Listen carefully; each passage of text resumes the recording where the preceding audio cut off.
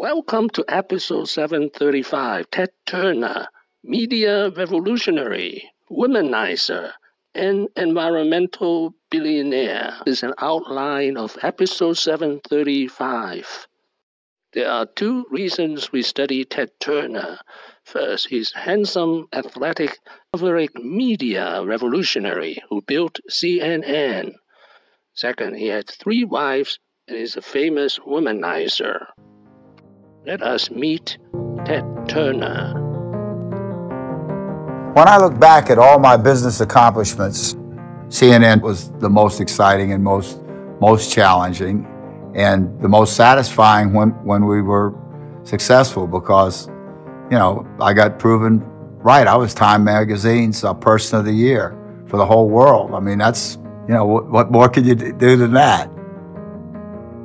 Most of us think of Ted Turner as a Southerner, but actually he was born in Cincinnati, Ohio in 1938. A turbulent childhood and a father who committed suicide. Growing up, Turner was a C student and was rebellious, eventually getting expelled from Brown University for having a woman in his room with him. In the following years, his parents divorced, he got married and divorced, his 12 year old sister developed terminal lupus, and his father went so far into debt with his advertising company that he committed suicide. Turner was 24 years old and his father's company was almost bankrupt, but he decided he would take over the family business. Drive him to create one of the world's biggest media empires. I was going to take my station in Atlanta and turn it into a national network. And everybody thought I was crazy.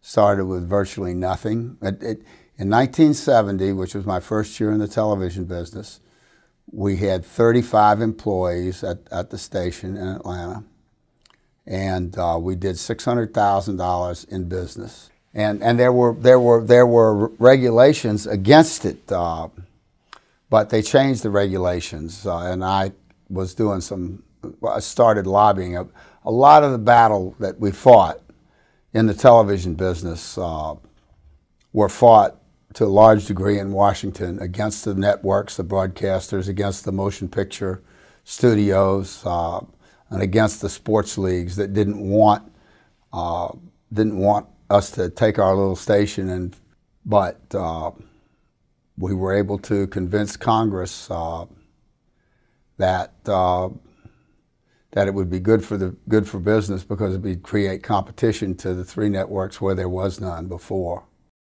Captain Courageous in 1977. Around the same time, Turner, a man of many parts, had already skippered the yacht Courageous to a 4 0 sweep of Australia in the America's Cup, arguably the world's most prestigious yachting race. I'm a lot of different people. If you don't know that by now, I'm a, I'm a multifaceted person. I've got a lot of different I personalities. I don't You ought to see me at midnight on the full moon. Ted Turner and Jane Fonda. The marriage lasted 10 years. Before they wed, Ted chased her, although she was still married to her second husband, Tom Hayden. You and Hayden, are you divorcing? Yes. You want to go out? I said, I'm actually in the middle of a nervous breakdown. Call me in six months. Ted Turner giving $1 billion to the United Nations. The year was 1997. He was 59 years old. And Ted Turner had begun putting his money where his mouth had been. I got a letter saying that I was going to be honored by the United Nations Association as their Man of the Year. And I thought, well, what am I going to say? Because I had to make a little speech. What am I And gonna say? since money give 'em some talks- money. Give a, a lot of money. I said, how much are you going to give them? I said, you got to, you know, it's got to be in the newspapers. It's got to be a big figure. How about a, how about a billion? You know, I mean, And he did. Turner fulfilled his pledge of $1 billion to the United Nations.